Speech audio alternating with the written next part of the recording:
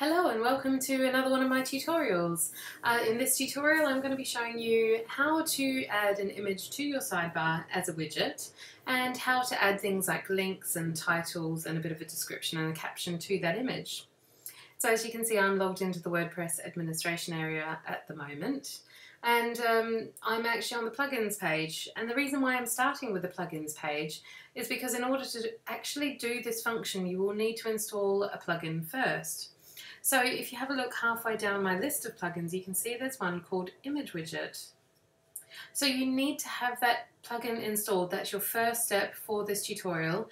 And if you're not sure how to do that, please go back and have a look at my other tutorial, which goes through how to install a plugin. Okay, so moving on from here, assuming that you do have the image widget installed, the next step is to go to your uh, widgets settings area. So having a look at the left-hand navigation bar, if you just go into the appearance section and then go down to widgets underneath that, we have the usual setup in the widgets area. So in the middle here you can see all of the widgets that you have available to use and they're not being used at the moment. And then on the right hand side you've got your primary navigation bar, or sorry, your primary sidebar I should say. So that is literally where the widgets go for your sidebar. And then you've also got your footer areas here as well. So in this example, I've got footer one and two, and I could also add an image widget to that if I wanted to. Okay, so uh, first of all, I need to drag and drop the image widget onto the sidebar so that I can use it. So I'm just going to pick that up here and literally drag and drop into my sidebar at the top there. And then the first thing you will need to do once you've got that in your sidebar is to select an image from your media library. So if I click on the select an image button, I can select a picture. So let's just pretend, this is a picture of myself.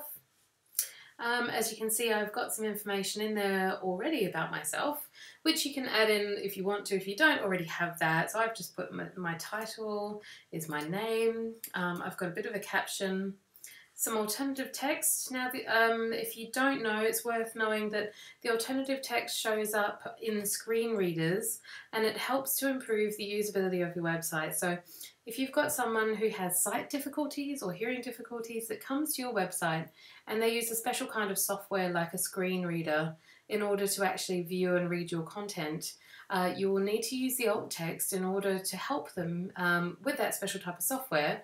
So the software will literally read tags like this back to them in order for them to know exactly what they're looking at. Um, so that's a very, very useful one to have. Okay, so once I have uh, filled in all that information, I'm going to click Insert, and that has imported all of that into my widget. So I now have the option to add a link in if I want to. So I'm going to type a link here to my website. And there's two options with the link. You can either ask it to stay in the same window or open in a new window.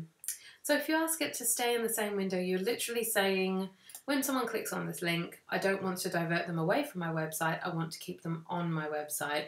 Um, so I normally recommend that that's probably what you would want to do.